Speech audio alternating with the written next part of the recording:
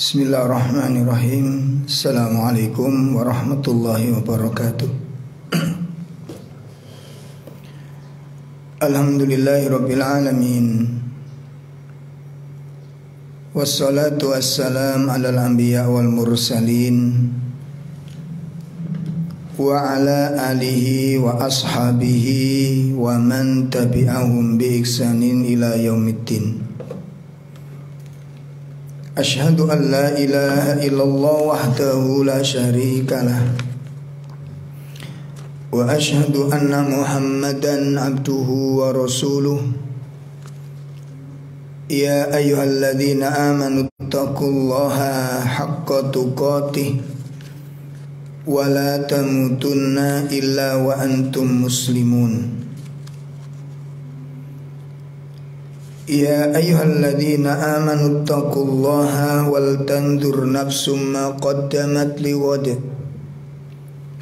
واتقوا الله إن الله خبير بما تعملون. اعلموا أن أصدق الحديث كتاب الله. وخير الهدي هدي محمد صلى الله عليه وسلم. Wa syarul umur muhdathatuha Wa kulla muhdathatin bid'ah Wa kulla bid'atin dhalalah Wa kulla dhalalatin finnar Ikhwatul iman rahimani wa rahimakumullah. Alhamdulillah di pagi yang mulia ini Allah Subhanahu wa taala mempertemukan kita semuanya di dalam kajian rutin bersama dengan Majelis Talim Kajian Komering Surabaya. Kita berharap kepada Allah Subhanahu wa taala melalui ilmu yang kita pelajari Mudah-mudahan Allah anugerahkan kepada kita hati yang khusyuk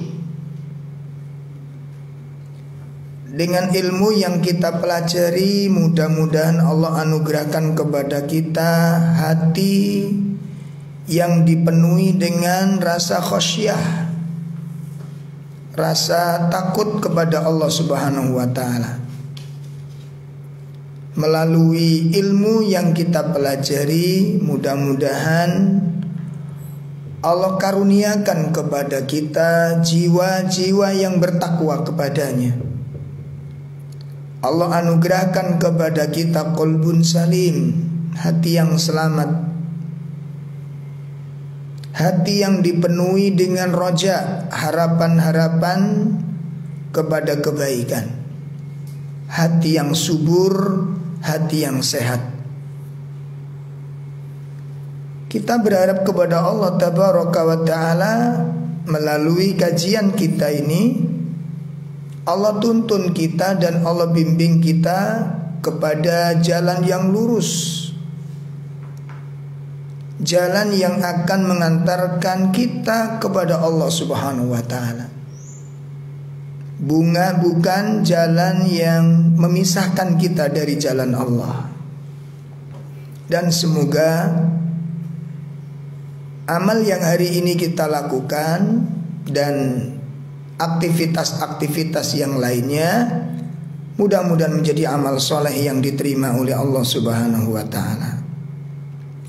Amin ya rabbal alamin.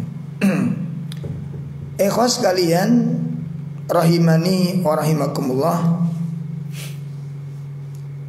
Pada kajian kita pagi ini menindaklanjuti materi-materi sebelumnya berkaitan dengan jalan yang lurus, jalan yang harus ditempuh oleh seorang muslim. Dan bagi kita ini pagi ini kita akan bersama-sama mempelajari sebuah hadis Nabi Shallallahu Alaihi Wasallam yang menceritakan rahasia mengapa para sahabat-sahabat mulia ini dijamin surga oleh Allah. ya, tentunya kita tidak cukup mengenal namanya saja yang disebutkan oleh Nabi SAW. Dalam hal ini ada sebuah hadis dari sahabat Abdurrahman bin Auf radhiyallahu an ia pernah mengatakan anna Rasulullah sallallahu alaihi wasallam yaqul bahwasanya Rasulullah SAW bersabda Abu Bakrin fil jannah Abu Bakar As-Siddiq itu ada di dalam surga Wa Umar ibnul Khattab fil jannah Umar ibnul Khattab di surga. Wa Uthman ibnu Affan fil jannah. Kemudian beliau menyebutkan sahabat yang ketiga yang dijamin surga adalah sahabat Utsman bin Affan fil jannah. Kemudian yang keempat wa ibni Abi Thalib fil jannah. Yang keempat sahabat Ali bin Abi Thalib juga di surga. Kemudian sahabat yang kelima wa Tolha fil jannah. Sahabat Tolha di dalam surga. Kemudian yang keenam wa Zubair fil jannah. Yang keenam sahabat Zubair di dalam surga. Yang ketujuh wa Abdurrahman bin Auf fil jannah Sahabat Abdurrahman bin Auf Di dalam surga Wa Sa'ad ibni Abi Waqqas fil jannah Sa'ad bin Abi Waqqas di surga Dan ini termasuk sahabat yang memiliki beberapa keistimewaan. Termasuk sahabat yang nantinya dikatakan oleh Nabi ketika masuk di dalam kuburnya Dihimpit sejenak kemudian dibebaskan. Sahabat Ibnu Sa'ad bin Abi Waqqas. Kemudian Wasa'id ibnu Zubair Wasa'id bin Zaid fil jannah Kemudian sahabat Sa'id bin Zaid fil jannah di dalam surga. Dan yang ke-10 wa Abu Ubaidah ibnul Jarrah fil jannah. Sahabat Abu Ubaidah bin Al-Jarrah di dalam surga. Hadis ini diriwayatkan oleh Imam Ahmad dan juga riwayat Imam At-Tirmidzi dengan derajat hadis yang sahih. Ikhwas kalian fiddi ini azani wa azakumullah Persoalannya tidak berhenti kepada 10 nama ini yang tentunya di kitab-kitab lain dalam hadis yang lain juga disebutkan sekian para sahabat, sekian puluh, sekian ratus, sekian ribu para sahabat yang dijamin sorga. Persoalan yang paling mendasar ya, persoalan yang paling mendasar kita tidak hanya cukup hafal namanya. Ya, ada sebagian sangat menakjubkan nama-nama sahabat yang dijamin surga hafal semua. Sepuluh sahabat dijamin surga ini ini, sepuluh wanita yang dijamin surga ini ini ini. 30 sahabat yang dijamin surga satu persatu disebutkan. Persoalannya tidak berhenti sampai di sana dan kita tidak cukup puas kalau sekedar tahu nama-nama saja.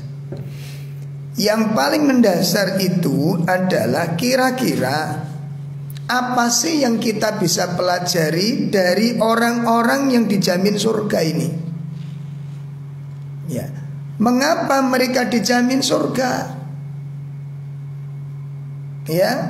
Terus apa kebaikan yang paling besar yang mereka miliki ini? Sehingga mereka disebutkan oleh Nabi Shallallahu Alaihi Wasallam tanpa ada keraguan sedikit pun Mereka itu hum alul jannah. Mereka itu adalah penghuni-penghuni sorga. Persoalan yang perlu kita ketahui di sini adalah kira-kira kebaikan apa yang mereka miliki.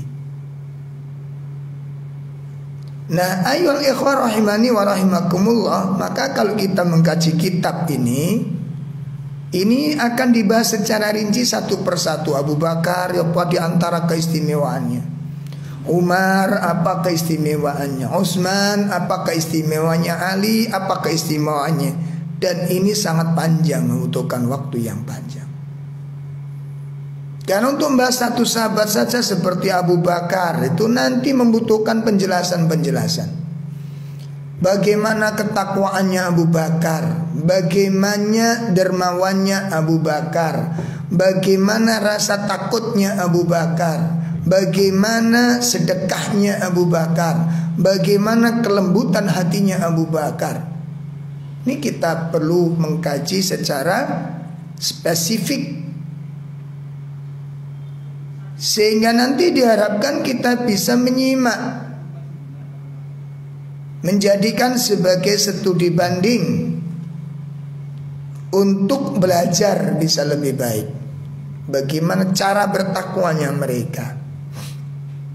Bagaimana cara berimannya mereka? Maka pagi ini kita akan bahas secara global.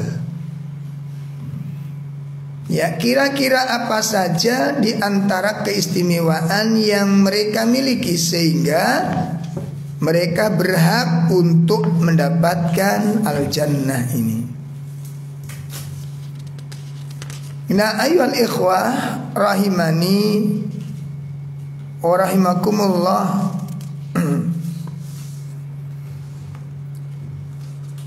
Tentu kami tidak akan menjelaskan secara keseluruhan ya karena tidak mencukupi waktunya. Insyaallah dalam kesempatan ini ada sekitar lima poin. Alasan yang paling mendasar mengapa mereka dijamin surga. Nah lima poin ini nanti kita jadikan PR bagi kita semuanya. Apakah lima poin ini nanti kita sudah memiliki sifat-sifatnya? Ya memiliki keistimewaan keistimewaannya. Nah, sehingga nanti kita bisa jadikan sebagai acuan. Kita bisa jadikan sebagai cermin. Sehingga nanti satu saat pada saat kita merasa jadi orang baik, dan rumongso menjadi orang yang soleh itu kita ukur ini dengan ini. Ya, artinya kita dalam merasakan sesuatu dalam perasaan kita merasa jadi orang yang ahli sunnah, merasa jadi orang yang ahli Quran, menjadi orang yang ahli hadis, menjadi orang yang soleh. Ini pertanyaan berikutnya adalah Apakah kita bisa membuktikan perasaan-perasaan atau prasangka yang sudah kita nilaikan kepada kita ini? Contoh, kita merasa jadi orang soleh. Merasa jadi orang soleh itu bukan sebuah larangan. Boleh orang merasa jadi sudah soleh, sudah muslimah, sudah jadi muslim yang baik itu boleh-boleh saja.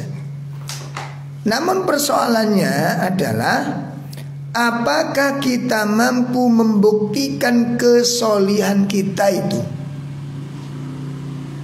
Ya, karena dalam pandangan Allah Allah tidak hanya menerima pengakuan-pengakuan semata. Kalau soal pengakuan itu yang paling canggih ngaku itu orang-orang munafik. Sehingga Allah sering menjelaskan di dalam Al-Quran itu jangan sampai penampilan ucapan mereka menjadikan kamu terkagum-kagum. Jangan kagum, jangan takjub dengan ucapan dan penampilan penampilan mereka. Kenapa? Karena mereka paling pinter action jadi orang soleh ini. Ngapunten paling pinter action jadi orang soleh.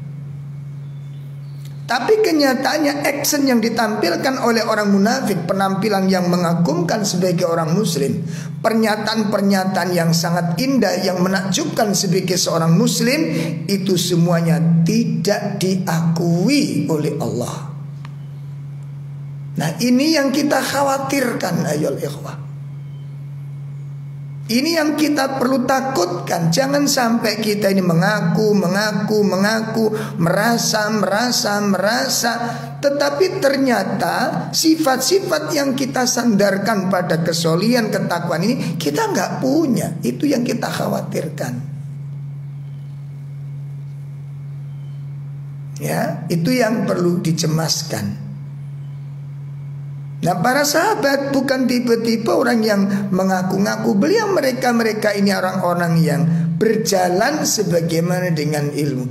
Ada perintah mereka jalankan Ada larangan mereka jauhi Ada informasi mereka dengarkan Ada hukum mereka taati. Itu para sahabat. Penampilan mereka disesuaikan dengan syariat. Jati diri mereka disesuaikan dengan syariat Ya. Jadi tidak cukup hanya dengan mengaku-ngaku, merasa-rasa. Tidak, para sahabat bukan tipe-tipe seperti itu. Pemirsa sekalian yang dimuliakan Allah, oleh karena itu lima poin perkara ini mari kita pelajari bersama-sama. Yang pertama, apa keutamaan para sahabat? Ya sehingga nanti kita perlu mengetahui. Yang pertama kenapa para sahabat itu dijamin surga oleh Allah taala? Li'annahum khairun nas. Yang pertama karena mereka itu sebagai generasi terbaik. Masya Allah Mereka itu adalah generasi terbaik.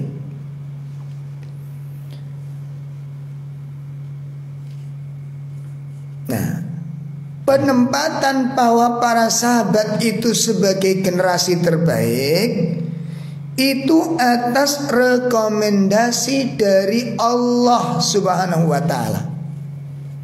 Ya, bukan para sahabat menyatakan kami generasi terbaik, nggak ada sahabat-sahabat mengatakan demikian. Allah yang menyaksikan.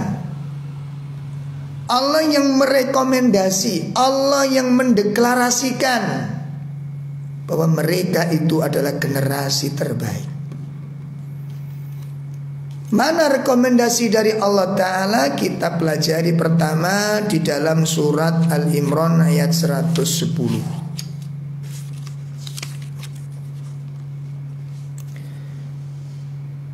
أعوذ بالله من الشيطان الرجيم. كنتم خير أمة أخرجت للناس تأمرون بالمعروف تأمرون بالمعروف وتنهون عن المنكر وتؤمنون بالله. Walau amana ahlul kitab lakana khairan lahum minhumul mu'minuna wa aktsaruhumul fasiqun. Allah Subhanahu wa taala menyebutkan kamu yakni umat Islam secara umum dan secara khusus yang dimaksud kuntum itu adalah ashabun Nabi Sallallahu Alaihi Wasallam, para sahabatnya Nabi Sallallahu Alaihi Wasallam. Kenapa ini secara khusus dikatakan kepada para sahabat?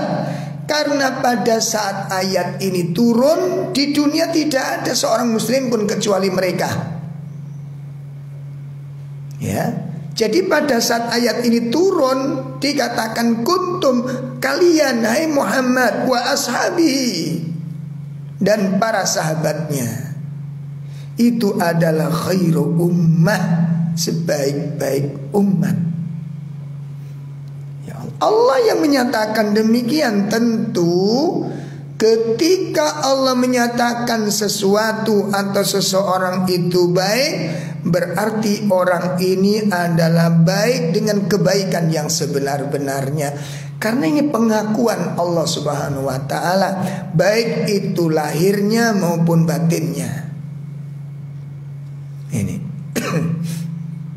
ya, baik itu lahirnya maupun batinnya.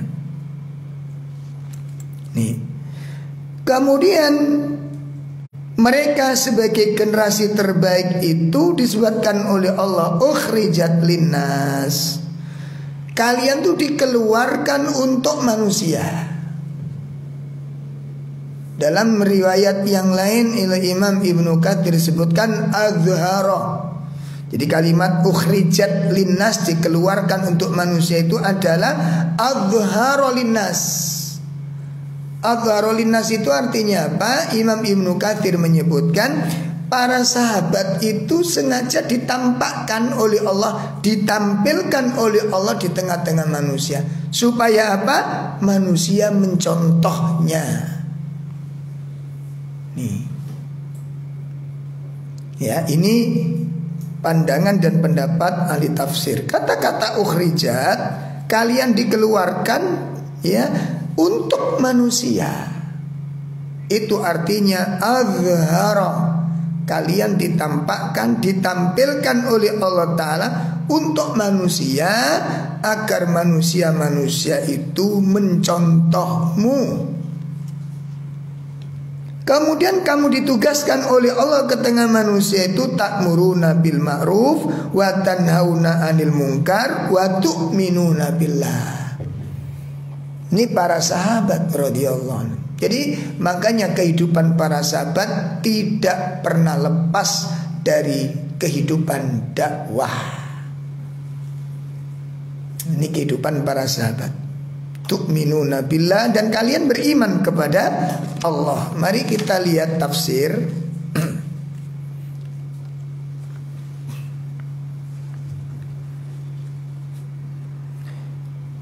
Dalam tafsir Ibnu Katsir dari sahabat Turrah binti Abu Lahab. Mendilatkan oleh Imam Ahmad. Durrah binti Abu Lahab berkata Ja'a rojulun ila Nabi SAW Fahiya fahuwa fil mimbar Fahuwa fil mimbar ada seorang laki-laki yang datang kepada Nabi SAW pada saat Nabi itu di atas mimbar. Summa qala ya Rasulullah Kemudian laki-laki itu bertanya kepada Nabi SAW Man khairun nas? Siapakah manusia yang paling baik? Insya Allah. Siapakah manusia yang paling baik maka Nabi menyebutkan di dalam hadis ini ada empat sifat. Ada empat sifat. Yang pertama adalah akra'uhum Orang yang paling dekat Yang paling ahli Di dalam Al-Quran Baik membacanya baik memahaminya, menghafalnya dan mengamalkannya. Akra'uhum yang paling dekat membacanya dengan Alkitab. Saya Usaimin ketika menjelas, menjelaskan tentang tilawatil Quran, tilawah itu ada tiga macam bentuk. Yang pertama beliau jelaskan tilawatul lafat membaca lafat-lafatnya. Yang kedua tilawatil makna Membaca makna dan pemahamannya. Yang ketiga adalah tilawatul amal Tilawah dalam bentuk mengamalkannya. Jadi makanya disebut hafidul Quran. Menghafal Quran ini bisa jadi bermakna dua macam. Yang pertama menghafal tentang lafat-lafat yang ada di dalam Al-Quran itu Yang kedua makna hafidul Quran Tidak bermakna menghafal tapi pernah menjaga. Sebagaimana Allah katakan di dalam surah Al-Baqarah 238 tentang perintah solat Allah mengatakan hafidhu ala solawat Menggunakan kata-kata hafidhu Kalau bermakna hafal, hafalkan solat-solat Maknanya bukan menghafal tetapi jagalah solat-solat itu Nah jadi makna-makna hafid di dalam Al-Quran itu ada dua pengertian yang pertama hafid dari sisi apa namanya ayat-ayatnya, lafat-lafatnya. Yang kedua makna hafid terhadap Al-Quran itu adalah mengamalkan dan menjaga amalan ini supaya tidak hilang. Ya, karena ilmu dalam Al-Quran itu tidak cukup dijaga dari hafalannya, maknanya, tapi nanti bisa jadi orang-orang yang membacanya, menghafalnya pagi, siang, malam Tapi nggak diamalkan. Ini dikatakan oleh Nabi Al-Quran telah hilang. Al-Quran telah hilang. Dan para sahabat radhiyallahu anhu majma'in adalah orang yang paling ahli di dalam ketiga-tiganya.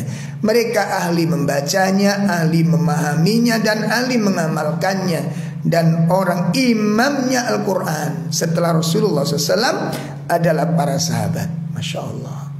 Sekarang tinggal kita sejauh mana kedekatan kita dengan Al-Quran.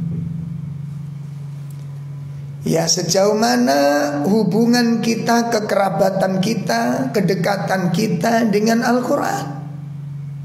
Sehingga nanti kalau kita menjadi orang yang paling akrab dengan Al-Quran Yang paling dekat dengan Al-Quran Maka kita mendapatkan satu sifat Dari manusia terbaik ini Ini yang menyebabkan para sahabat Kenapa mereka dijamin surga Masya Allah Jadi waktu-waktunya betul-betul dihabiskan Coba kita simak pernyataan sahabat Abdullah ibnu Mas'ud menceritakan bagaimana para pemuda-pemuda dari kalangan sahabat mempelajari Quran itu. Apa kata sahabat Abdullah ibnu Mas'ud? Ya, ta'allamnal Quran asyra ayat. Kami para pemuda-pemuda Muslim pada saat itu Mempelajari Al-Quran itu 10 ayat 10 ayat. Itu cara sahabat Abdullah ibn Mas'ud Dan para sahabat yang lain di dalam mempelajari Al-Quran. Ta'alam Al-Quran asyra ayat. Kami mempelajari Al-Quran 10 ayat 10 ayat. Kemudian kata beliau Falam yuzawijuha kami tidak menambah ayatun satu ayat pun. Ya Allah Kami tidak menambah satu ayat pun Qabla. Sebelum Ya Na'lamu kami mengetahui ma'aniya Tentang makna-maknanya Sebelum kami menghafalnya Dan memahami makna-maknanya Ya wa na'malu dan sebelum kami mengamalkannya. Masya Allah, ini hebatnya para sahabat. Jadi kata sahabat Abdullah ibnu Mas'ud, para sahabat pemuda-pemuda di zaman ibnu Mas'ud, itu kalau belajar Al-Quran itu 10 ayat. 10 ayat, 10 ayat. Dan kata beliau, tidak menambah satu ayat pun Ya, tidak menambah satu ayat pun sebelum sepuluh ayat pertama yang dipelajari tadi. Satu dihafalkan, dua dipahami makna, tiga diamalkan. Jadi kalau sepuluh ayat tadi belum dipenuhi tiga hal ini mereka nggak akan nambah satu ayat pun. Mari kita ukur dengan kita seperti itukah kita belajar Al-Quran? Ya Allah. Nih kita. Kita itu kepingin dapat dalil banyak gitu ya. Kemudian blank semua. Ini sahabat Ibnu Mas. Sehingga nanti kalau sudah dihafal Qur'annya Sudah dipahami maknanya Sudah diamalkan 10 ayat tersebut Baru kami tambah. Baru kami tambah Baru kami nambah 10 ayat berikutnya Demikian pula seterusnya. Masya Allah. Ini yang pertama ciri-ciri generasi terbaik kata Rasulullah akra'uhum. yang kedua ciri generasi yang terbaik itu adalah wa lillah. Wa lillah. Orang yang paling bertakwa kepada Allah. Mereka orang-orang yang paling bertakwa lah Yang paling bertakwa itu yang bagaimana? Yang paling hati-hati Menjaga diri Baik itu menjaga perintah maupun menjaga larangan Puncak ketakwaan yang paling tinggi dikatakan oleh Imam Ibnu Rajab Makna dari tafsir surat Al-Zalzalah faman ya'mal mithqala dzarratin khairan yarah wa man ya'mal mithqala dzarratin syarran yarah. Nah ini makna takwa yang paling tinggi. Apa itu? Surat ini Al-Zalzalah pada dua ayat terakhir mithqala dzarratin khairan yarah. Apa kata Imam Ibnu Rajab? Maknanya wala tahkiranna syai'an minal khair. Wala tahkiranna syai'an minal khair. Jangan engkau sepelekan sekecil apa pun bentuk kebaikan antaf ala untuk kamu kerjakan. Itu tafsirnya Al-Zalzalah dua ayat terakhir itu maknanya. Jadi yang dimaksud ya'mal mithqala dzarratin khairan yara itu adalah jangan engkau remehkan sekecil apa pun kebaikan-kebaikan untuk diamalkan. Kenapa? Karena amalan sekecil debu akan diberikan pahala oleh Allah. Ini maknanya. Sedangkan tafsir fama ya'mal mithqala dzarratin syarra artinya apa?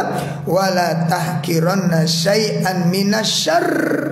Jangan engkau sepelekan, jangan engkau remehkan, jangan engkau abaikan, jangan engkau anggap kecil. Sekecil apa pun bentuk keburukan, antat untuk engkau jauhi. Jauhi sekecil apa pun keburukan itu. Itu makna yang terkandung di sini dan itu menunjukkan tingkat ketakwaan yang paling tinggi. Persoalan kembali kepada kita, sudah seperti itukah kita menjaga diri? Sudah seperti itukah kita begitu semangat, antusias untuk mengamalkan amalan-amalan yang orang lain menganggap itu amalan kecil sekali, remeh, Ya. Kenapa demikian ayol ikhwa? Amalan-amalan yang sepele yang dianggap sepele manusia nanti itu membuat orang lain itu gengsi untuk melakukan kecuali para perindu-perindu surga ini. Ya Allah, kecil, sederhana, terabaikan. Orang bertakwa tidak memandang demikian. Di dalam kebaikan yang kecil ini ada pahala yang disiapkan Allah. Dan orang-orang mukmin tidak pernah merasa cukup dengan pahala. Kurang, kurang sehingga para sahabat adalah orang-orang yang paling serakah di dalam ketaatan dan kebaikan. Ini jadi yang kedua ciri-ciri orang yang paling baik itu adalah orang yang paling bertakwa. Yang ketiga wa amuruhum bil ma'ruf wa anhahum 'anil munkar. Orang yang paling gemar mengajak orang-orang dalam kebaikan dan orang yang paling gemar mencegah dari kemungkaran. Semangat sekali dia ngajak orang dalam ketaatan, ngajak orang mencari ilmu, ngajak orang untuk belajar kitab, ngajak orang untuk belajar sunnah. Semangat dia mengajak kebaikan dan juga semangat di dalam mencegah kemungkaran-kemungkaran. Ciri yang ketiga. Kemudian tanda-tanda generasi terbaik kata Rasul yang keempat adalah wa ausaluhum ar-rahim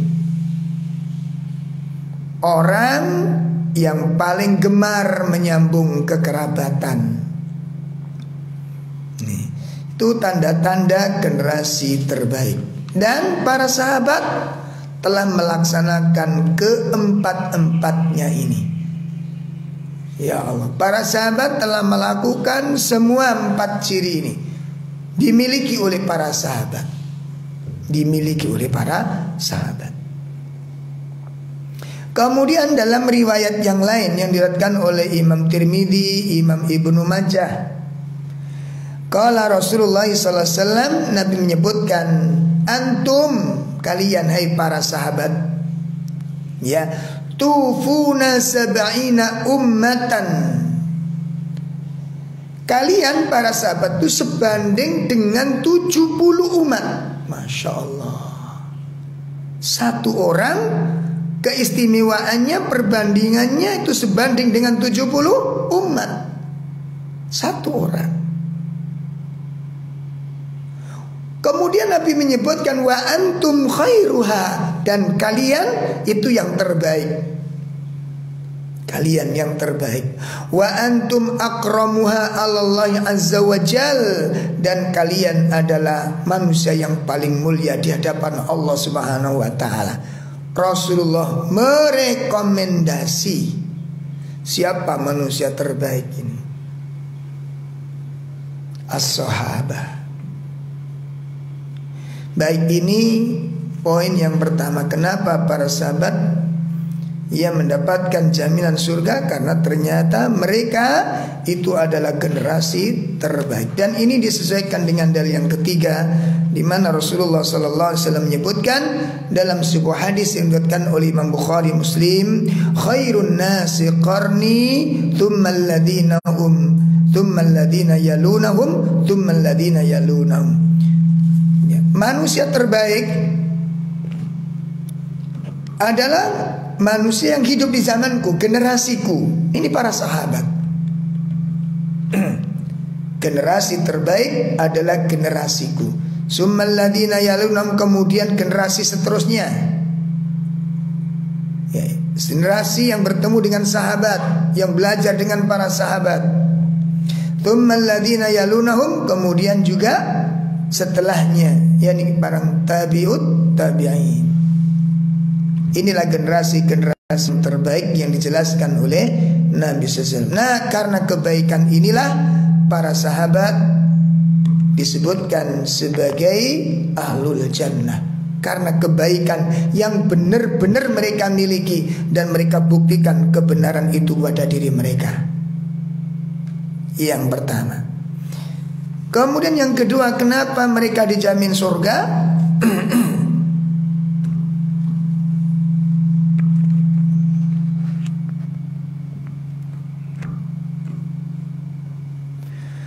Karena para sahabat itu adalah generasi yang dijadikan Allah teladan.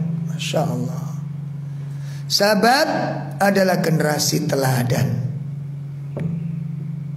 Karena tadi sudah disebutkan generasi terbaik, maka yang kedua generasi yang memang patut diteladani dan harus dijadikan teladan. harus dijadikan teladan. Hal ini sebagaimana disebutkan oleh Allah Tabaraka wa taala di dalam surah Al-Baqarah ayat 138.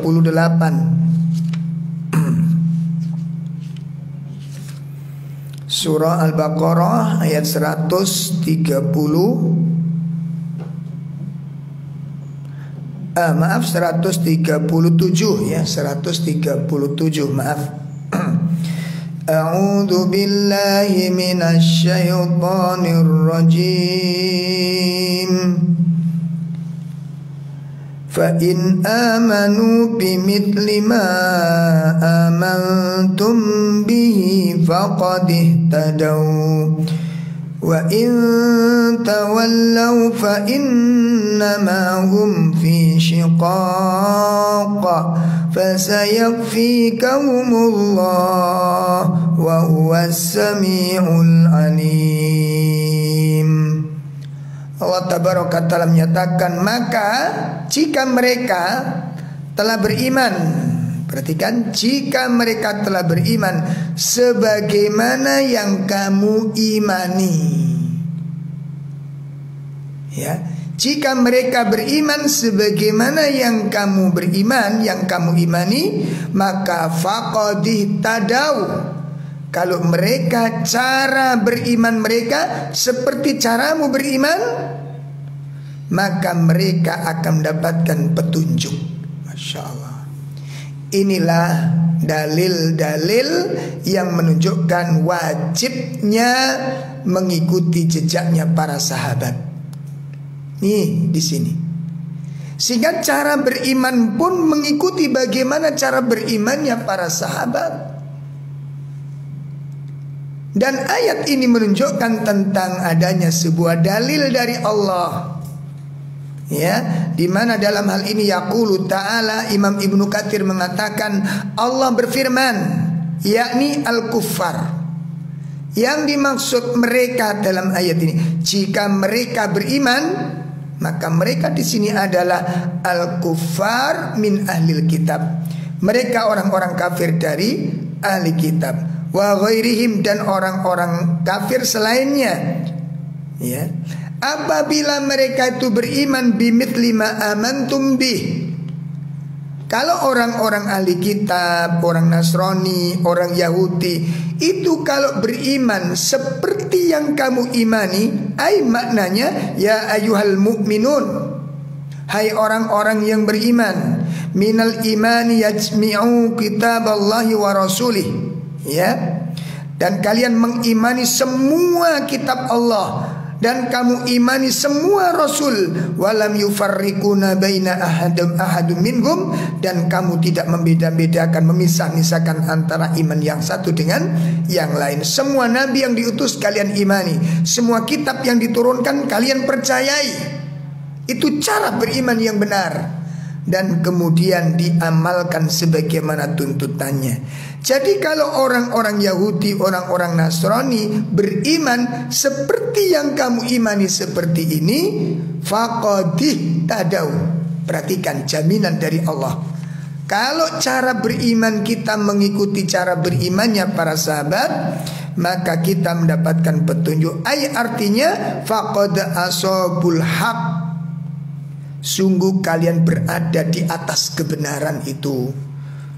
Wa irsyadu ilaih Dan memperoleh jalan menuju kepada Allah Dan menuju kebenaran ini. Masya Allah Nih, jadi kalau kita beriman, berislam, bertakwa, beramal, lalu memahami nas-nas Al-Quran seperti bagaimana cara para sahabat memahaminya, maka kita berada di atas kebenaran dan kita memperoleh jalan menuju kepada Allah Ta'ala. Ini menunjukkan ayat ibu bapak sekalian menunjukkan bahwa jalannya para sahabat imannya para sahabat, Islamnya para sahabat adalah Islam yang dijadikan Allah sebagai teladan. Ikutilah mereka. Ikuti jejak mereka dan ikuti pemahaman mereka. Ya, sehingga di sinilah yang kemudian menjadikan batasan Tidak cukup orang itu berislam dengan berdalil Al-Quran dan hadis mata tidak cukup Kenapa? Pemahamannya siapa yang kita ambil. Teroris itu punya dalil Al-Quran. Dalilnya jelas, bunuhlah orang kafir di mana saja kamu berada. Ayat Quran jelas. Persoalannya yang keliru adalah cara memahami ayat ini. Orang yang tidak sholat sampai pada kurung golongan torekot sufi yang membagi Islam menjadi empat tingkatan syariat, torikot, makrifat, hakikat. Nanti pada saat uh, uh, makrifat dan hakikat ini atau hakikat dan makrifat mereka tidak ada yang sholat. Mereka sudah gugur dari kewajiban. Kenapa? Karena sudah sampai pada makrifat. Minum khamr nggak jadi masalah. Ya minum khamr nggak jadi masalah ngomong kotor pun nggak masalah. Yang penting hatinya tidak. Ini kan pemahaman menyimpang. Makanya mereka juga punya dalil. Mereka punya dalil. Ya, tidak berpakaian syar'i nggak masalah. Kenapa? Nabi menyatakan innallaha la yanduru ila suwarikum wala ajsamikum. Allah tidak melihat jasadmu, Allah tidak melihat wajahmu, tapi Allah melihat hatimu. Sehingga mereka tidak berpakaian syar'i pun tidak masalah. Pakai dalil. Persoalannya adalah pemahamannya yang salah. Maka di sinilah ayat-ayat ini menunjukkan wajibnya kita mengikuti, meneladani para sahabat untuk dijadikan sumber hukum dan untuk dijadikan batasan-batasan di dalam memahami nas-nas Al-Quran dan sunnah Nabi Shallallahu Alaihi Wasallam. Jamaah sekalian yang dimuliakan Allah. Ya. Kemudian mari kita lihat pesan Rasulullah SAW berkaitan dengan keistimewaannya para sahabat ini. Di mana Nabi Shallallahu Alaihi Wasallam menyatakan fa innahu man ya'is minkum ba'di fasaya rohtilafan kathira. Maka sesungguhnya barang siapa yang hidup setelahku nanti setelah aku mati lalu ada umat Islam yang hidup Ya kapan saja di mana saja Maka dia pasti akan menjumpai perselisihan yang sangat banyak Ini sudah dijelaskan oleh Nabi Setelah aku mati nanti Kalian akan mendapati perbedaan-perbedaan yang sangat Yang sangat banyak Dan itu tidak bisa dibendung Ayo Ya Allah Nah setelah Nabi menjelaskan tentang peristiwa peristiwa yang akan terjadi pada umat setelah kematian beliau, Beliau memberikan solusi. Apa solusinya? Jadi kalau umat ini sudah bertemu dengan kelompok-kelompok yang banyak, perselisihan yang begitu besar, perbedaan pandang yang begitu tajam, ikhtilaf, ya perbedaan-perbedaan dalam akidah, dalam fikih. Ketika sudah terjadi perbedaan dan umat berpecah belah, apa solusinya? Nabi sallallahu alaihi wasallam berikan solusi. Yang pertama, fa'alaikum bisunnati wa khulafa'ur rasyidin al-mahdiyin. Perhatikan, solusi pertama di saat kalian menghadapi perbedaan-perbedaan pendapat dan macam-macam tadi, apa kata Nabi? Peganglah sunnahku dan sunnah para sahabatku. Ikuti jejakku, ikuti jejak sahabat-sahabatku. Ya. Apa cukup sampai di sana? Enggak. Tamassaku biha pegang erat sunnahku ini dan sunnahnya sahabatku. Pegang erat. Artinya apa? Jangan dilepaskan. Ini menunjukkan tentang urgennya kita berpegang dengan pendapatnya para sahabat. Ya, tamassaku biha berpegang eratlah kamu Pegang erat itu. Setelah itu cukup nggak sampai di situ. Nabi menambahkan kekuatannya alayya bin nawajid. Gigitlah sunnahku itu dengan geraham-gerahammu. Setelah engkau pegang erat sunnah-sunnah Nabi itu jangan disepelekan, jangan ditinggalkan, jangan dia pegang erat-erat. Dijalankan dengan serius dan dijaga pengamalannya ini. Setelah itu apa kata Nabi? Wa'addu alaiha bin nawajid dan gigitlah sunahku itu dengan gigi gerahammu. Masya Allah. Kemudian Nabi mewasiatkan wa iyyakum mukhdatsatil umur. Dan berhati-hatilah kalian dengan perkara-perkara yang baru dalam agama ini. Fa inna kulla karena segala sesuatu yang baru dalam agama ini bid'atun. Itu merupakan sebuah kebid'ahan. Wa kulla bid'atin dan setiap kebid'ahan itu merupakan sebuah kesesatan. Wasiat Rasulullah agar kita meneladani para sahabat radhiyallahu anhu menjadikan sandaran kepadanya sebagai sumber hukumnya. Kemudian kita simak wasiatnya sahabat Abdullah ibnu Mas'ud radhiyallahu an berkaitan dengan poin yang ini. Ini poin yang kedua sebagai generasi yang patut diteladani dan kita harus menjadikan mereka-mereka sebagai manusia teladan. Maka mari kita simak sahabat Abdullah ibnu Mas'ud mengatakan Mangkana minkum mustanna Barang siapa di antara kalian Ingin mengikuti suatu jejak Masya Allah Barang siapa di antara kalian ingin mengikuti suatu jejak Maka falyastinna biman qad mata Maka ikutilah jejaknya orang-orang yang telah meninggal. Kenapa? Fa innal hayya la tu'manu alaihi fitnah. Karena orang yang masih hidup tidak terjamin ya tidak dijamin terpelihara dari fitnah. Maknanya apa ini? Ya. Siapa mereka yang dimaksud apa generasi yang telah meninggal yang kita harus mengikutinya? Ikuti sunnahnya jejaknya orang-orang yang telah meninggal. Itu yang dimaksud siapa? Ulaika ashabu Muhammadin sallallahu alaihi wasallam. Yang dimaksud generasi yang telah meninggal itu adalah sahabat-sahabat Nabi sallallahu alaihi wasallam. Masya Allah Sahabat Ibnu Mas'ud mengatakan barang siapa ingin mengikuti jejak Meniru sebuah karakter Ikuti jejaknya orang-orang yang telah meninggal Yang mereka itu tidak lain adalah generasi para sahabat Persoalannya Kenapa Abdullah Ibnu Mas'ud menyarankan kita menjadikan para sahabat itu sebagai teladan Kenapa? Beliau menjelaskan pertama Kanu afdalu hadhil ummah Mereka para sahabat itu adalah umat yang paling mulia. Umat yang paling utama di antara umat ini Sahabat.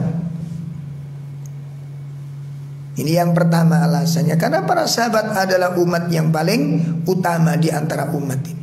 Yang kedua apa sebabnya kita harus meneladani mereka dan Allah jadikan para sahabat itu sebagai teladan? Yang kedua, wa abarroha kuluban mereka adalah orang yang paling baik hatinya di antara manusia. Ya Allah. Mereka adalah orang yang paling baik hatinya. Yang ketiga wa a'maqaha ilman orang yang paling sedih, orang yang paling dalam ilmunya. Ilmunya dalam melihat masalah itu luas sekali. Ya, sehingga kedalaman ilmu inilah yang kemudian menjadikan perkataan-perkataan mereka itu sangat berbobot. Beda rasanya. Saya ngomong atas nama saya, Ya coba dirasakan ya. Saya ngomong atas nama saya. Uh, apa namanya? Hendaklah kita tidak ada sesuatu yang paling aku anggap penting untuk aku perbaiki dibandingkan memperbaiki niat. Saya ngomong atas nama diri saya. Ya, tidak ada perkara yang lebih serius aku perbaiki dalam agama ini dibandingkan dengan memperbaiki niat. Kenapa? Niat itu berubah-ubah dalam hati. Itu kalau atas nama saya sendiri orang mungkin tidak menganggap itu penting. Tapi begitu kita sandarkan ya, kita sandarkan kepada para ulama-ulama yang mulia ini, generasi yang mulia ini berkata Imam Sufyan At-Tauri. Berkata Imam Sufyan At-Tauri, tidak ada yang lebih penting untuk perbaiki dibandingkan niatku karena niat itu berubah-ubah tidak menetap di dalam hati. Berkata Imam Sufyan At-Tauri Orang tidak melihat lagi Abdul Rauf Tapi orang melihat Sufyan At-Tauri. Sehingga kalimatnya ini mulia sekali.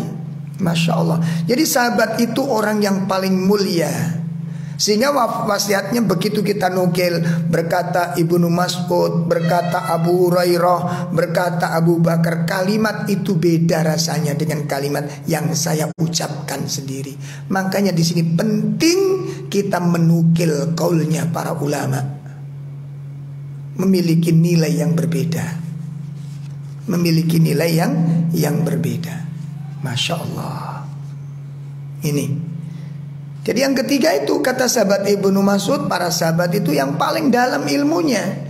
Orang yang paling utama di antara umat ini Umat yang paling bagus hatinya setelah Nabi Muhammad.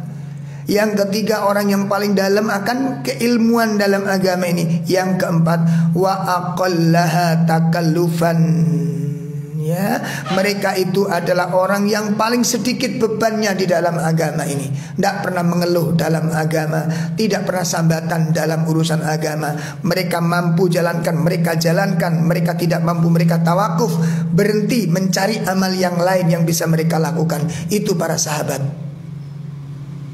Tidak pernah mengeluh di dalam agama ini orang yang paling sedikit ya takalufnya, bebannya di dalam agama ini. Itu yang keempat keistimewaannya kata sahabat Ibnu Mas'ud. Yang kelima, qaumun ikhtarahumullah li nabihi wa iqamati dinihi. Masya Allah. Mereka itu sahabat-sahabat itu adalah kaum yang telah dipilih oleh Allah. Nih Pak, orang yang dipilih oleh Allah. Untuk apa li suhbati nabihi? Untuk mendampingi nabinya. Karena nabi terbaik, sahabatnya manusia terbaik pula. Dakwah Nabi tidak akan sesukses sedemikian kalau tidak didampingi dengan orang-orang yang luar biasa ini. Kenapa dakwah kita seret? Karena pengikutnya dan pendampingnya bukan orang-orang yang serius di dalam dakwah. Kalau orang serius, masya Allah. Coba lihat sebagian teman-teman yang memang serius di dalam mandang dakwah dalam kondisi pandemi, dalam kondisi larangan berkumpul banyak orang, orang berpikir apa berhenti? Sudah selesai jam. Tidak, mereka berkreatif. Dakwah tidak boleh berhenti. Kalau muncul orang-orang seperti ini hidup agama ini. Syiar ilmu pertebaran yang namanya hidayah ini. Dakwah tidak mati. Adanya orang-orang seperti ini. Makanya para sahabat ini Masya Allah Masya Allah. Makanya ibu-ibu bapak-bapak yang sudah merasa punya karakter ini Hendaknya disimpan. Ini mulia sekali. Ya ini mulia Karena itu bagian dari sifatnya para sahabat. Hari ini Kita yang sudah berpisah dengan masa kenabian Yang sudah berabad-abad Allah anugerahkan sifat ini kepada kita semuanya La haula wala quwata illa billah. Mudah-mudahan menjadi amal soleh bagi kita semuanya. Ya, jadi sahabat itu adalah kaum yang dipilih oleh Allah untuk mendampingi nabinya dalam rangka untuk menegakkan agamanya. Gak mungkin kalau orang sembarangan bisa ini. Nih. Oleh karena itu, nah setelah dijelaskan panjang lebar apa keistimewaannya para sahabat, apa wasiat terakhirnya sahabat Abu Abdullah ibnu Mas'ud, fa'arifu lahum fadlahum. Apa yang harus kita lakukan? Kenali keutamaan mereka. Kenali keutamaan mereka. Setelah itu wattabi'uhum fi atharihim. Setelah kita mengenali keutamaan para sahabat, apa yang kita lakukan? Lakukan ikuti jejak mereka. Ikuti jejak mereka. Wa tamassaku bimastata'tum dan berpegang teguhlah pada min akhlakihim wa dinihim. Berpegang teguhlah semampu kalian pada akhlak dan agama mereka.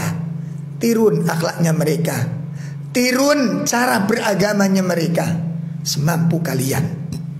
Kenapa kita harus meniru mereka, mengikuti jejak mereka, berpegang teguh dengan kelebihan akhlak dan agama mereka? Kenapa? Fa innahum kanu alal hadiyil mustaqim. Karena mereka para sahabat itu berada di atas petunjuk yang lurus. Ya Allah. Ini pak.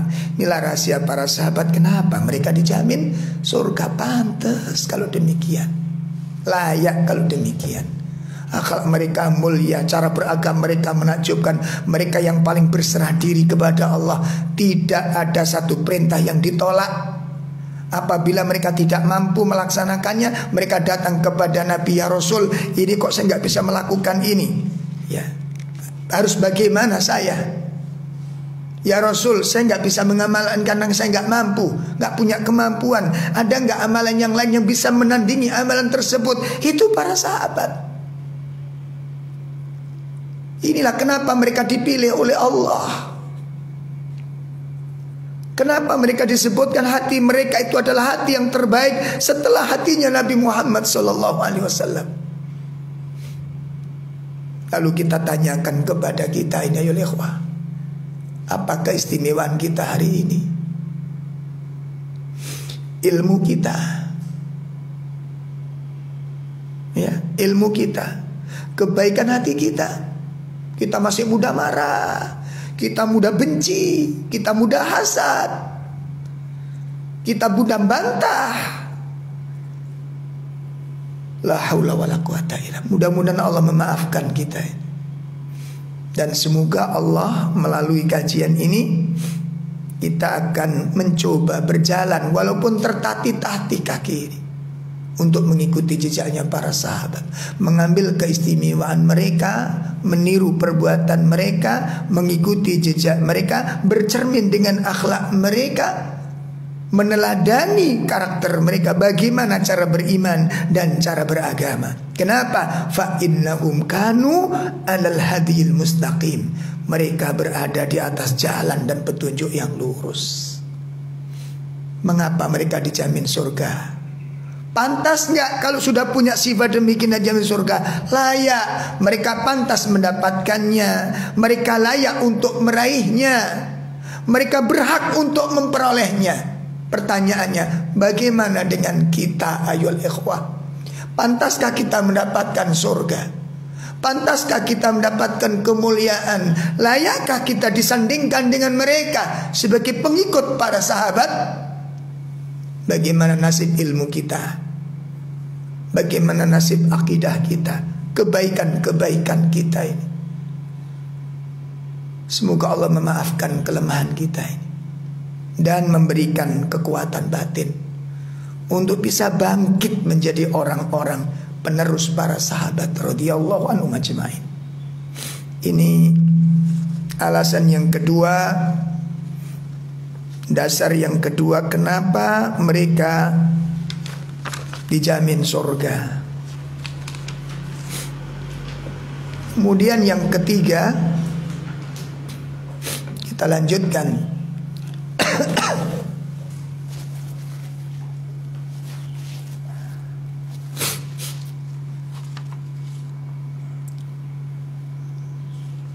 Mengapa mereka dijamin surga yakni para sahabat ini? Karena mereka termasuk orang-orang yang sudah mendapatkan jaminan keridhaan dari Allah. Mereka adalah manusia-manusia yang diridhai oleh Allah Ta'ala Manusia yang paling sedikit sekali Kesalahannya di dalam beragama. Masya Allah. Orang yang paling sedikit kesalahannya di dalam beragama. Orang yang paling bersih kepasrahannya kepada Allah. Antum lihat Ketika ayat-ayat yang berkaitan dengan perintah turun kepada Nabi disampaikan kepada para sahabat Mereka langsung antusias. Jika demikian kami akan melakukannya Masya Allah. Ya. Mereka adalah orang-orang yang telah mendapatkan jaminan keridhaan dari Allah Subhanahu wa taala. Hal ini sebagaimana disebutkan oleh Allah taala di dalam surah At-Taubah. Pada ayat yang ke-100 A'udzu billahi minasy syaithanir rajim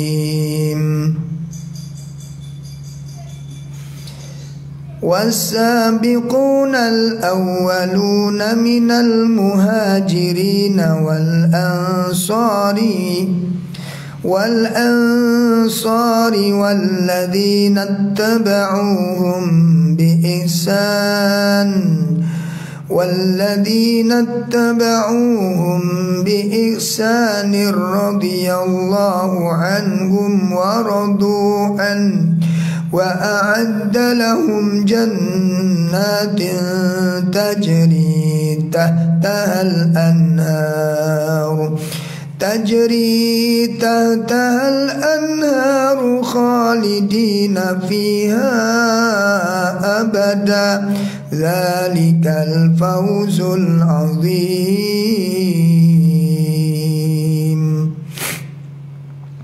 Dan orang-orang yang terdahulu Lagi yang pertama-tama masuk Islam Di antara orang-orang muhajirin dan ansor. Dan orang-orang yang mengikuti mereka dengan baik Allah ridho kepada mereka dan mereka pun ridho kepada Allah. Allah menyediakan bagi mereka surga-surga yang mengalir di bawahnya, sungai-sungai. Mereka kekal di dalamnya selama-lamanya dan itulah kemenangan yang sangat agung. Ikhwatul iman rahimani wa rahimakumullah Dalam satu riwayat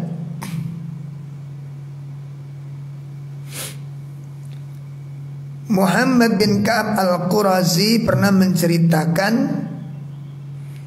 ya Umar bin Khattab Umar bin Khattab pernah melewati seorang yang tengah membaca ayat ini. Ada seorang membaca ayat ini.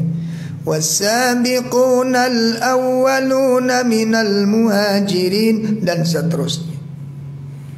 Ya. Setelah mendengarkan orang ini membaca maka Umar bin Khattab menarik tangan orang tersebut lalu berkata, Siapakah yang membacakan ayat ini kepadamu? Kamu kok tahu ayat ini? Kamu mendapatkan dari siapa? Siapa yang mengajarimu dengan ayat ini? Maka orang tersebut menyatakan Yang mengajariku adalah sahabat Ubay bin Ka'ab Ubay bin Akab yang mengajariku Benar demikian? Benar kata orang tersebut Maka Umar berkata kepadanya Kamu jangan pergi dulu dariku Sebelum aku membawamu Kepada Ubay bin Ka'ab maka datanglah Umar bin Khattab dengan orang tersebut menghadap dan mendatangi sahabat Ubay bin Ka'ab. Lalu Umar berkata, "Ya Ubay, apakah benar kamu yang membacakan ayat ini kepada orang tersebut?"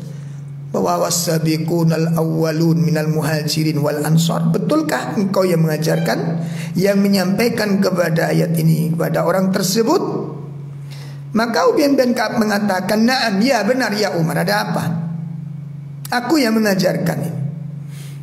Maka Umar pun berkata kepada aku melihat bahwa kami para sahabat orang-orang yang orang-orang Ansor dan orang-orang Muhajirin ya telah ditinggikan pada ketinggian yang tidak dapat dicapai oleh seorang pun. Ya. Tidak bisa dicapai oleh seorang pun sepeninggal kami. Artinya orang-orang yang akan datang tidak bisa mencapai kedudukan yang mulia ini. Masya Allah. Tidak bisa mencapai kedudukan yang yang mulia. Dari sisi keutamaan. Sahabat adalah orang yang paling yang paling utama. Ketakwaannya, akhlaknya, cara berislamnya, kepasrahannya kepada perintah, kepasrahannya kepada larangan kita bisa simak itu. Bagaimana ketika Allah Subhanahu wa taala menurunkan perintah untuk hijab? Ya, diwajibkan para muslimah para istri-istri orang yang beriman untuk menutup auratnya dan menutup seluruh badannya. Apa yang mereka lakukan oleh kaum muslimah? Pada itu belum ada yang namanya toko butik ya. Seperti sekarang jilbab berserakan di mana-mana dengan model yang masya Allah luar biasa. Tinggal ada uang, ambil selesai. Apa yang mereka lakukan? Mesin jahit belum ada. Subhanallah ya Allah. Begitu dapat perintah muslimah wajib menutup aurat. Mereka ambil itu apa namanya sarung-sarung uh, apa namanya kelambu-kelambu di jendela-jendela mereka, ada sebagian selimut-selimut mereka dipakai untuk menutup aurat ini. Jadi kalau malam dipakai selimut, siangnya kalau keluar dipakai untuk jilbab mereka. Ini menunjukkan hati yang begitu lembut dengan perintah Allah Subhanahu wa taala. Ada perintah dijalankan. Bagaimana tutup tubuh ini tertutup? Bagaimana aurat tertutup? Lalu apa alasan hari ini ayo ikhwah? Para sahabat, sahabiah, sahabiah Orang yang paling lembut hatinya menerima perintah Walaupun mereka tidak memiliki jilbab-jilbab seindah yang kita miliki Tapi hati mereka adalah hati yang paling taat kepada perintah Allah Hati yang paling berserah diri kepada Allah subhanahu wa ta'ala Mereka ambil itu kelambu-kelambu di jendela mereka Ditetei pakai kain-kain mereka Ditutupkan ke kepala mereka Nanti kalau pulang sudah di dalam rumah dipakai lagi untuk penutup jendela rumah mereka ini. Hati semacam apa ini ayol muslimah?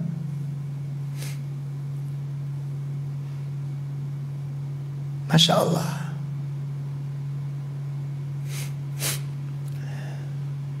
Apa yang mendorong mereka inilah yang kemudian kenapa Allah ridho? Ada alasan. Kenapa mereka diridhoi oleh Allah? Karena mereka adalah orang-orang yang ridho dengan syariat ini. Apakah kita ridho dengan sekarang?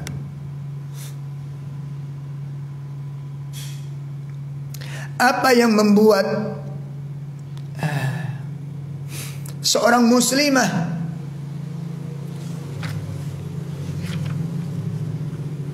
Yang awalnya dia menolak lamaran Rasulullah Sallallahu Alaihi Wasallam tiba-tiba berubah dan menerima lamaran tersebut walaupun hatinya tidak menyukainya karena ada ayat. Karena ada ayat yang memberikan ancaman. Wa makana ketika Rasulullah melamar seorang wanita yang namanya Zainab diperuntukkan Zaid mantan budak beliau dan anak asuh beliau. Dilamarkan dengan muslimah yang namanya Zainab wanita terpandang wanita yang cantik kemudian Zainab mengatakan tidak berhasrat menerima lamaran Zaid begitu Nabi pulang belum sampai jauh dari rumah Zainab turun ayat surat Al-Ahzab pada ayat 36 Ayat ini ayat teguran kepada Zainab. Apa kata Allah? A'udzu billahi minasy syaithanir rajim. وما كان لمؤمن ولا مؤمنة إذا قضى الله ورسوله إذا قضى الله ورسوله أمرا أن يكون لهم الخيرة من أمرهم ومن يعص الله ورسوله فقد ضل ضلالا مبينا.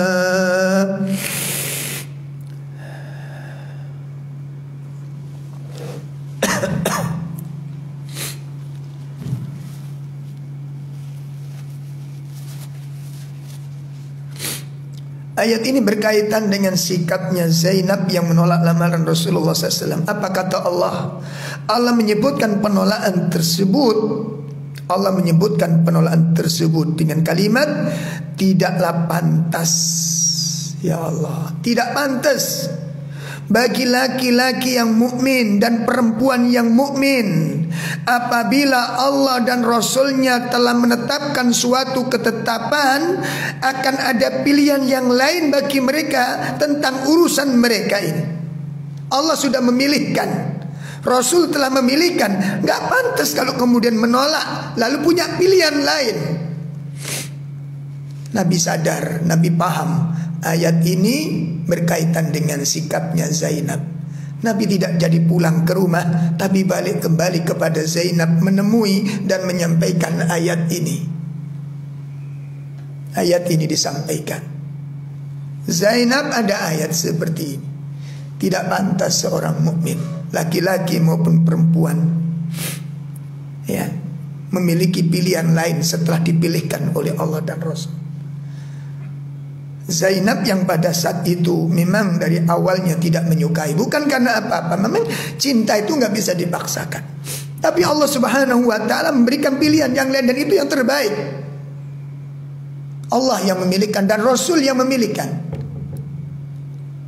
Adakah pilihan yang terlebih baik dari itu? Maka dengan adanya ayat ini Yang tadinya Zainab menolak Hari itu dia katakan Aku terima lamaran Rasul mendahulukan ayat daripada perasaan. Inilah kepasrahan para orang-orang dahulu. Inilah ketakwaan orang-orang terdahulu. Inilah keislaman mereka. Radiyallahu anhum wa radu'an. Allah ridho kepada mereka. Kenapa? Karena mereka selalu ridho dengan syariat Allah ini. Mirsa sekalian yang dimuliakan Allah.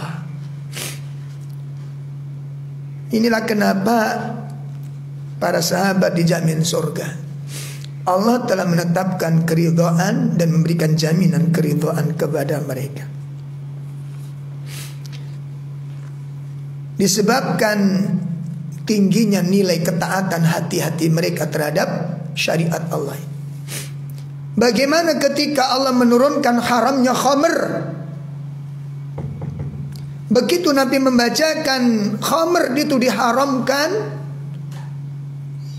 para sahabat yang pada waktu itu ada di Madinah yang sedang minum khamr sambil memegang botol khamr dipukulkan mendengar ayat Rasulullah sedang menyampaikan ayat khamr diharamkan hari ini. Sambil mabuk mereka memukulkan botol-botol ini dipecahkan botol sambil mabuk. Karena sebelumnya belum ada ayat yang mengatakan khamr haram setelah didatangkan hukum ini oleh Allah dan disampaikan kepada Nabi pada saat itu ketika sahabat sedang minum khamr pun membuang sisa yang ada ini. Ini menunjukkan tentang bagaimana dahsyatnya ketaatan hati mereka. Kelembutan jiwa-jiwa mereka, kepasrahan yang luar biasa. Inilah yang mereka menyebabkan Mengapa mereka dijamin surga? Karena hati yang lembut seperti ini Hati yang pasrah, hati yang ridho kepada setiap syariat Mengalahkan perasaan-perasaan mereka. La haula wa la quwata illa billah. Ini jamaah sekalian yang dimuliakan Allah tentang mengapa mereka dijamin surga Dan masih banyak contoh-contoh sebab-sebab ini karena waktunya sudah cukup saya rasa ini ya. Tidak sampai pada lima poin Mudah-mudahan Sedikit yang bisa kami sampaikan ini Mudah-mudahan menjadi ilmu yang bermanfaat bagi kita semuanya untuk menjadi renungan, untuk menjadi muhasabah diri. Ya, kalau kita sudah melihat bagaimana keislamannya para sahabat, ilmunya para sahabat, ketakwaannya para sahabat, keteladanan akhlaknya para sahabat, maka kita bercermin bagaimana dengan akhlak kita dibanding dengan akhlak mereka. Paling tidak ada nggak keinginan untuk menirunya hari ini? Walaupun mungkin agak berat harus kita lakukan. Kenapa cita-citanya sama? Al Jannah Sedangkan surga tidak bisa diperoleh dengan angan-angan kosong Laisa bi amaniyikum wala amani ahli kitab. Surga tidak diperoleh dengan angan-angan kosong kita. Surga tidak diperoleh dengan angan-angan ahli kitab. Tapi surga itu diperoleh dengan amal soleh. Dengan ketaatan, dengan ketakwaan yang tulus kepada Allah subhanahu wa ta'ala. Mudah-mudahan melalui kajian ini Allah memberikan kekuatan lahir batin kepada kita semuanya untuk bisa itiba mengikuti jejak para sahabat dan semoga Allah meluruskan hati kita di setiap pencarian ilmu, di setiap pengamalan amalan-amalan. Mudah-mudahan kita melaksanakan semata-mata ikhlas mencari keridhaan Allah Subhanahu wa taala dan dimohon sesama kaum muslimin kita saling mendoakan. Kami doakan antum sekalian, mudah-mudahan antum senantiasa dijaga dan dipelihara oleh Allah dalam istiqomahnya. Dan mohon doa antum untuk kami semuanya agar kami juga dijaga dan mendapatkan perlindungan dari Allah Subhanahu wa taala. Kita cukupkan sampai di sini. Kita tutup dengan kafaratul majlis. Subhanakallahumma wa bihamdika Asyhadu an la ilaha illa anta astaghfiruka wa atubu ilaik. Assalamualaikum warahmatullahi wabarakatuh.